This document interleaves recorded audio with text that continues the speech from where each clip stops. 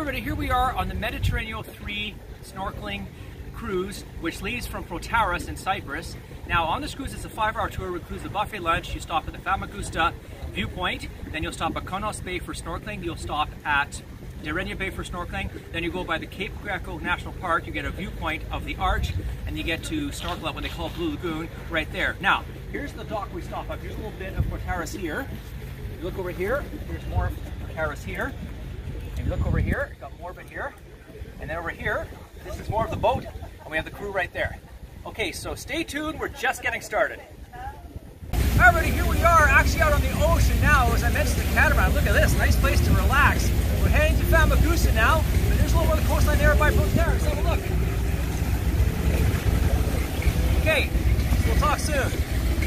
Everybody, here we are at Derenia Bay, the first stop. Now, in the background we have Famagusta. Now, what happened was the Turkish, when they invaded in August of 1974, August 14th to be precise, what happened was the border was drawn just over behind that hill there, and you can see all the hotels in the background are part of Famagusta. Now, what happened was most of the hotels were owned by the Greeks, and when the Turkish took over, the Greeks said, ah, ah, we don't want you profiting for hotels. So the UN came in and talked over the Greeks and the Turkish, and they decided this one will be completely off limits to everybody, and it's controlled by the UN and Turkish troops. So now the stop is Derenia Bay. Now if you look over here, we're to be snorkeling over here. You can see some nice coral coast right there.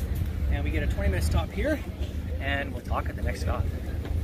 Alright, here we are at Konnos Bay, which is the next stop on the tour. It's another swim spot. We get an hour here to do it. Now, you can see in the background, we got a rocky coast there. Usually, from my experience, that means pretty good snorkeling. Now, we're not the only ones doing it. Look over there. We got other boats over there doing the boats right around there.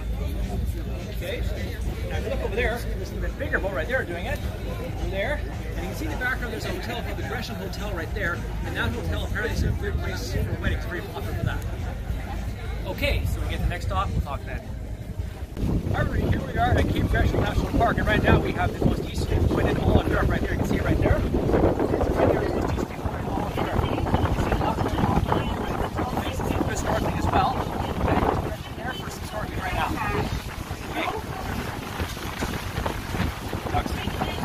Okay. Hi everybody, here we are in Cape Greco National Park. Now behind us we have the Bridge of Koraka, which is a natural bridge in Cyprus, one of the many natural wonders in Cyprus. Apparently they call it Lover's Leap. Now have a closer look at it there.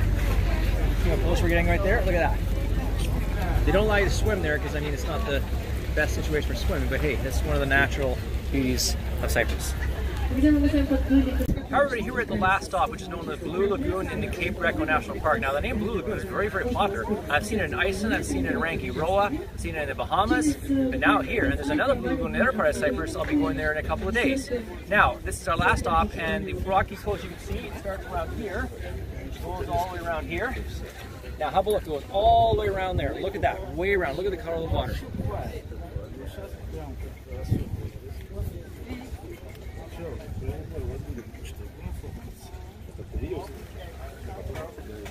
The crew in the boat there.